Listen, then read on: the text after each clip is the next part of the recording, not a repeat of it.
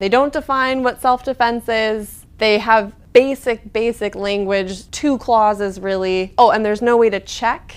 This week in history, Europe 1928. The United States, Germany, and France become the first of 65 nations by 1933 to sign the Kellogg-Briand Pact, a treaty that, in essence, outlaws war. After the heavy losses of World War I, much of the world is eager, if not receptive, to declaring war illegal. The treaty is extremely simple and contains two principal articles. The first clause outlaws war as an instrument of national policy, while the second requires all signatories to settle their disputes by peaceful means. The signatories include Japan, who invades China in 1931, Italy, who invades Abyssinia or Ethiopia in 1935, and Germany, who invades Czechoslovakia in 1938, Poland in 1939, and the rest of non-neutral mainland Europe in 1940.